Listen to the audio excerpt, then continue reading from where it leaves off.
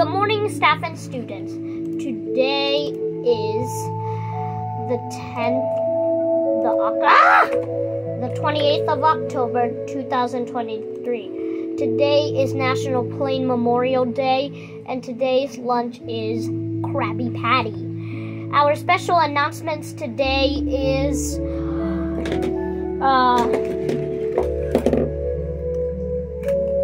I got these new planes. And today is uh, today is what a day Friday. So what a day today is we just have fun today. And what do you guys think? Mm, yes? All right.